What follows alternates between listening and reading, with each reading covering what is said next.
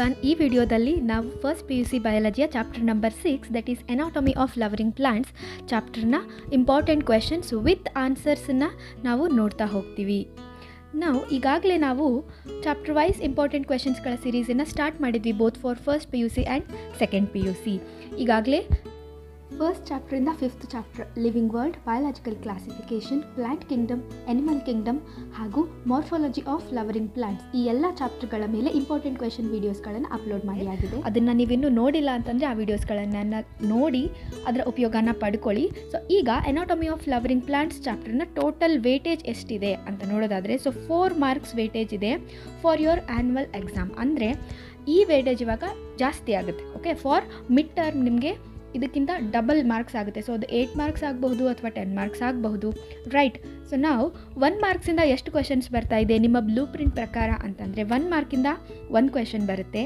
ಹಾಗೂ ಟೂ ಅಥವಾ ತ್ರೀ ಮಾರ್ಕಿಂದ ನಿಮಗೆ ಒಂದು ಕ್ವೆಶನ್ ಬರುತ್ತೆ. ಫಾರ್ ಫೋರ್ ಮಾರ್ಕ್ಸ್ನ ವೇಟೇಜನ್ನು ಇಟ್ಕೊಂಡ್ರೆ ಓಕೆ ಬಟ್ ನಿಮಗೆ ಇದು ಮಿಡ್ ಟರ್ಮ್ ಆಗಿರೋದ್ರಿಂದ ಮಿಡ್ ಟರ್ಮ್ ಎಕ್ಸಾಮಲ್ಲಿ ನಿಮಗೆ ಫೈವ್ ಮಾರ್ಕ್ನ ಕ್ವೆಶನನ್ನು ಕೂಡ ಇದರಿಂದ ಕೇಳೋ ಚಾನ್ಸಸ್ ಇರುತ್ತೆ ಓಕೆ ಸೊ ಹಾಗಾಗಿ ನಾನು ಈ ವಿಡಿಯೋದಲ್ಲಿ ನಿಮಗೆ one mark two three mark and five mark all type of ಕ್ವೆಶನ್ಸನ್ನು ಹೇಳ್ತಾ ಹೋಗ್ತೀನಿ ವಿತ್ ಆನ್ಸರ್ಸ್ ಹೇಳ್ತಾ ಹೋಗ್ತೀನಿ. ವಾಚ್ ಅಂಟಿಲ್ ದ ಎಂಡ್ ಚಾನಲ್ನ ಫಸ್ಟ್ ಟೈಮ್ ನೋಡ್ತಾ ಇದ್ರಿ ಅಂತಂದರೆ do subscribe to the channel ಹಾಗೂ ನಿಮ್ಮ ಫ್ರೆಂಡ್ಸ್ಗೂ ಕೂಡ ಶೇರ್ ಮಾಡಿ, ಇದರಿಂದ ಅವ್ರಿಗೂ ಕೂಡ ಹೆಲ್ಪ್ ಆಗುತ್ತೆ. ಹಾಗೆ ಹೆಚ್ಚೆಚ್ಚು ಜನಕ್ಕೆ ತಲುಪಿಸೋದಕ್ಕೆ ಸಹಾಯ ಆಗುತ್ತೆ. And let's get back to the question ಈಗ ನಾವು ನೋಡ್ತಾ ಇರುವಂತಹ chapter anatomy of flowering plant so ಈ ಚಾಪ್ಟರಲ್ಲಿ ಒನ್ ಮಾರ್ಕ್ನ ಕ್ವಶನ್ ಹೇಗೆ ಬರುತ್ತೆ ಅಂತ ನೋಡೋಣ.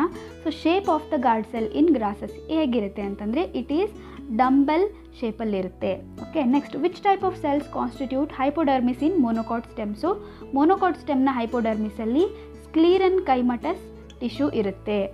Okay next function of trichome so ಟ್ರೈಕೋಮ್ನ function they prevent water loss due to transpiration trichome ಅಂತಂದರೆ they are the stem hair okay next function of root hair so root ಹೇರ್ನ function ಏನು ಅಂತಂದರೆ to absorb the water and minerals from the soil okay next endodermis pericycle and pith are absent in so ಇದನ್ನು ನಿಮಗೆ ತೊಗೊಂಡಿರೋದು ನಾನು model question ಪೇಪರಿಂದ ಈಗ twenty twenty three model question ಪೇಪರಿಂದ ಅಂದರೆ ಅವ್ರು ಏನು ಹೇಳ್ತಿದ್ದಾರೆ? ಎಂಡೋಡರ್ಮಿಸು ಪೆರಿಸೈಕಲ್ಲು ಪಿತ್ ಎಲ್ಲವೂ ಆಬ್ಸೆಂಟ್ ಇರುತ್ತೆ ಯಾವುದರಲ್ಲಿ? That is option number C monocot ಸ್ಟೆಮ್ಗಳಲ್ಲಿ ಯಾವುದೇ ರೀತಿ ಎಂಡೋಡರ್ಮಿಸ್ ಪೆರಿಸೈಕಲ್ ಪಿತ್ ಇರೋದಿಲ್ಲ. ನೆಕ್ಸ್ಟ್ ಇನ್ನು ಟೂ ಮಾರ್ಕ್ಸ್ನ ಕ್ವಶನ್ ಯಾವ ತರಹ ಬರಬಹುದು ಅಂತಂದರೆ, ಹೆಚ್ಚಾಗಿ ಡಿಫ್ರೆನ್ಷಿಯೇಟ್ ಬಿಟ್ವೀನ್ ಕೇಳ್ತಾರೆ ಅಂದರೆ ಡಿಫ್ರೆನ್ಸಸ್ಸನ್ನು ಬರಿಬೇಕು. ಯಾವುದ್ರ ಮಧ್ಯ?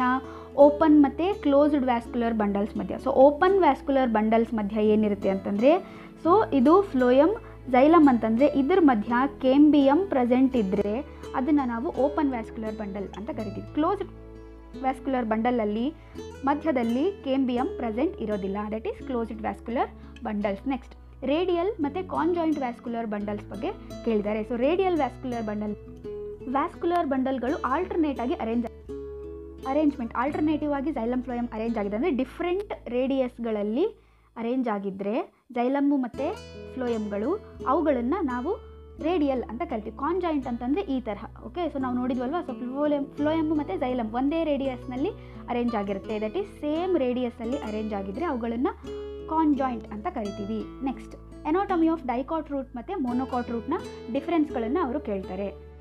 ಡೈಕಾಟ್ ರೂಟಲ್ಲಿ ಏನಾಗುತ್ತೆ ಅಂತಂದರೆ cortex is wide in case of dicot root, monocot ರೂಟಲ್ಲಿ narrow ಆಗಿರುತ್ತೆ. ನಾನು ಆನ್ಸರ್ಸ್ನು ಹೇಳ್ತಾ ಹೋಗ್ತೀನಿ ಸೊ ದಟ್ ನೀವು ಬರ್ಕೊಳ್ತಾ ಹೋಗಿ. ನೆಕ್ಸ್ಟ್ ವ್ಯಾಸ್ಕುಲರ್ ಬಂಡಲ್ಗಳು ಜಸ್ಟ್ ಟೂ ಟು ಫೋರ್ ಅಷ್ಟೇ ಇರುತ್ತೆ ಡೈಕಾಟ್ ರೂಟಲ್ಲಿ ಬಟ್ ಇದರಲ್ಲಿ ಮೆನಿ ವ್ಯಾಸ್ಕುಲರ್ ಬಂಡಲ್ಸ್ ಇರುತ್ತೆ. ಆ ಕಂಡೀಷನನ್ನು ಪಾಲಿ ಆರ್ಕ್ ಅಂತ ಕರಿತೀವಿ. ಅಂದರೆ more than six vascular bundles monocot ರೂಟಲ್ಲಿ ಇರುತ್ತೆ. ನೆಕ್ಸ್ಟ್ ಪಿತ್ ಹೇಗಿರುತ್ತೆ ಅಂತಂದರೆ ಇಟ್ ಈಸ್ ವೆರಿ ಸ್ಮಾಲ್ ಇರಬಹುದು. ಅಥವಾ ಆಬ್ಸೆಂಟು ಇರಬಹುದು. ಇದರಲ್ಲಿ ಪಿತ್ ಹೇಗಿರುತ್ತೆ? It is very large well developed pith ಇರುತ್ತೆ. ಓಕೆ ಆ್ಯಂಡ್ ಇಲ್ಲಿ ನಮಗೆ ಸೆಕೆಂಡರಿ ಗ್ರೋತ್ ಕಂಡುಬರುತ್ತೆ. ಇನ್ ಡೈಕಾಟ್ ರೂಟ್ ಇದರಲ್ಲಿ ನಮಗೆ ಸೆಕೆಂಡರಿ ಗ್ರೋತ್ ಇರೋದಿಲ್ಲ. ಓಕೆ ಸೊ ಈ ತರಹ ನಿಮಗೆ ಡೈಕಾಟ್ ಸ್ಟೆಮ್ ಮತ್ತು ಮೋನೋಕಾಟ್ ಸ್ಟೆಮ್ದು ಕೂಡ ಕೇಳಬಹುದು.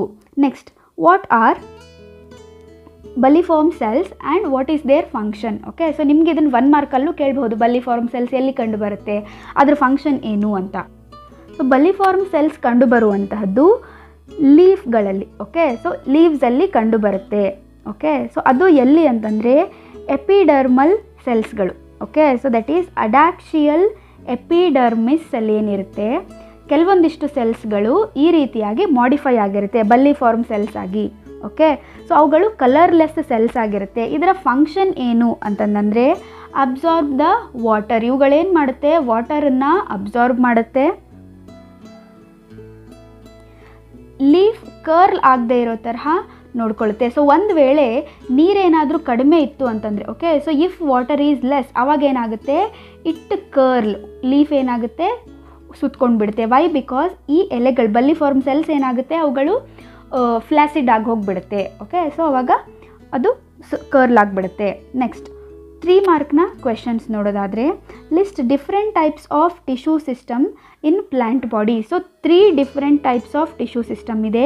ಮೊದಲನೇದು ಎಪಿಡರ್ಮಲ್ ಟಿಶ್ಯೂ ಸಿಸ್ಟಮ್ ಎರಡನೇದು ಗ್ರೌಂಡ್ ಟಿಶ್ಯೂ ಸಿಸ್ಟಮ್ ಮೂರನೇದು vascular tissue system so these are the three types of tissue systems next neat label diagram of stomatal apparatus okay so ನೀವು ನೀಟಾಗಿ ಈ ರೀತಿ ಸ್ಟೊಮ್ಯಾಟಾದ ಡೈಗ್ರಾಮನ್ನು ಬಿಡಿಸಿ ಲೇಬಲಿಂಗನ್ನು ಮಾಡಬೇಕಾಗುತ್ತೆ okay so two or three ಮಾರ್ಕ್ಸಿಗೆ ಕೇಳ್ತಾರೆ ಕ್ವೆಶನನ್ನು next what is a vascular bundle so vascular bundle ಅಂದರೆ ಏನು? ನೋಡಿ xylem phloem constitute the vascular bundles okay so they are the two types of vascular bundles ಅವುಗಳು ಫುಡ್ ಮತ್ತು ವಾಟ್ರನ್ನ transport ಮಾಡುತ್ತೆ in the plant next write a note on vascular bundles of root and stem okay so root ಮತ್ತು ಸ್ಟೆಮ್ಮಲ್ಲಿ ಯಾವ ತರಹ ಇದೆ vascular bundles ಅಂದರೆ ಅವುಗಳು ಕಾನ್ಜಾಯಿಂಟ್ ಆಗಿದೆಯಾ?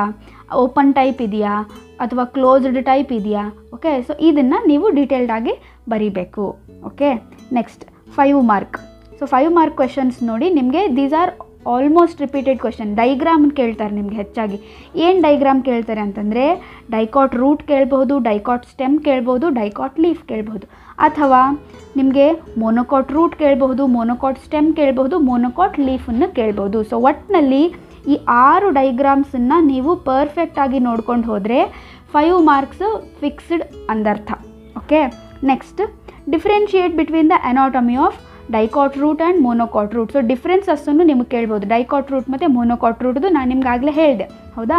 ನೆಕ್ಸ್ಟ್ ಡೈಕಾಟ್ ಸ್ಟೆಮ್ ಮತ್ತು ಮೋನೋಕಾಟ್ ಸ್ಟೆಮ್ಮಲ್ಲಿ ಏನು ಡಿಫ್ರೆನ್ಸ್ ಇರುತ್ತೆ ಅಂತ ನೋಡೋದಾದರೆ ಸೊ ಡೈಕಾಟ್ ಸ್ಟೆಮ್ಮಲ್ಲಿ ನಮಗೆ ಫಸ್ಟ್ ಈ ಹೈಪೋಡರ್ಮಿಸನ್ನು ನೋಡೋದಾದರೆ ಓಕೆ ಸೊ ಹೈಪೋಡರ್ಮಿಸನ್ನು ನೋಡೋದಾದರೆ ಕೋಲನ್ ಕೈಮಟಸ್ ಇರುತ್ತೆ ಓಕೆ ನೆಕ್ಸ್ಟ್ ಮೋನೋಕಾಟ್ಸಲ್ಲಾದರೆ ಹೇಗಿದೆ? ಅದು ಸ್ಕ್ಲೀರನ್ ಕೈಮಟಸ್ ಆಗಿದೆ. Okay next so this is first difference ಆಯಿತು.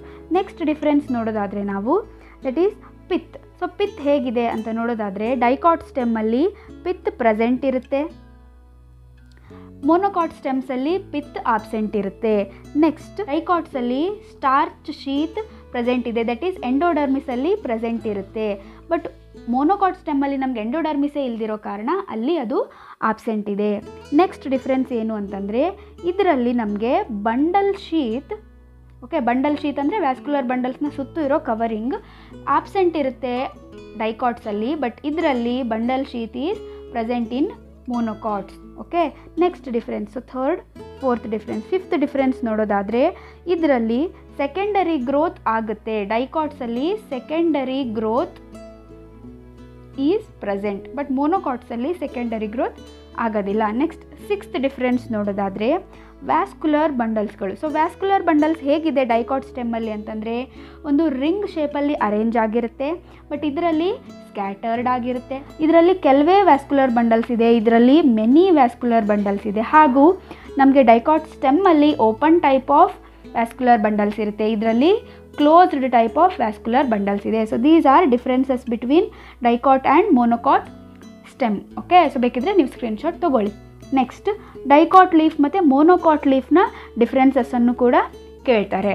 ಡಾರ್ಸಿ ವೆಂಟ್ರಲ್ ಲೀಫ್ ಅಂತ ಕರಿತೀವಿ. Okay so that is dorsiventral leaf ಇದನ್ನು ನಾವು ಐಸೋ ಬೈಲ್ಯಾಟ್ರಲ್ ಲೀಫ್ ಅಂದರೆ ಎರಡೂ ಕಡೆಯೂ ಸೇಮ್ ಎಪಿಡರ್ಮಿಸನ್ನು ಹೊಂದಿರುತ್ತೆ. ಎಪಿಡರ್ಮಿಸ್ ಏನಾಗಿದೆ?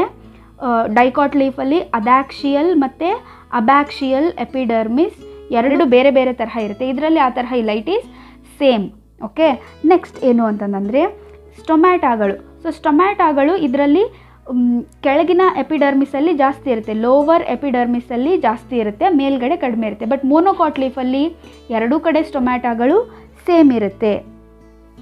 ಆ್ಯಂಡ್ ಇನ್ನೊಂದು ಮೇಜರ್ ಡಿಫ್ರೆನ್ಸ್ ಏನು ಅಂತಂದರೆ ಡೈಕಾಟ್ ಲೀಫಲ್ಲಿ ನಮಗೆ mesophyll is divided into two types of mesophyll ಒಂದು ಪ್ಯಾಲಿಸೇಡ್ ಪ್ಯಾರನ್ ಕೈಮ ಇದೆ, ಇನ್ನೊಂದು ಸ್ಪಾಂಜಿ ಪ್ಯಾರನ್ ಕೈಮ ಇರುತ್ತೆ. ಬಟ್ ಇದರಲ್ಲಿ ಹಾಗಿಲ್ಲ.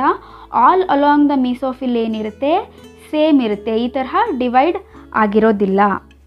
ಆ್ಯಂಡ್ ಇನ್ನೊಂದು ಡಿಫ್ರೆನ್ಸ್ ಏನು ಅಂತಂದರೆ ವ್ಯಾಸ್ಕುಲರ್ ಬಂಡಲ್ಸಲ್ಲಿ ನಮಗೆ ಇಲ್ಲಿ ಬಂಡಲ್ ಶೀತ್ ಕಾಣಿಸುತ್ತೆ. ಓಕೆ ಸೊ ಬಂಡಲ್ ಶೀತ್ ಕಾಣಿಸುತ್ತೆ ಬಟ್ ಇದರಲ್ಲಿ ಇರೋದಿಲ್ಲ. It is absent okay so ಇದಿಷ್ಟು difference between dicot leaf and monocot leaf dicot stem and monocot stem okay and dicot root ಮತ್ತು ಮೋನೋಕಾಟ್ ರೂಟ್ದು ನಾನು ಆಗಲೇ ಹೇಳಿದ್ದೀನಿ ಅಂದ್ಕೊಳ್ತೀನಿ so this is all about the chapter chapter number six anatomy of flowering plant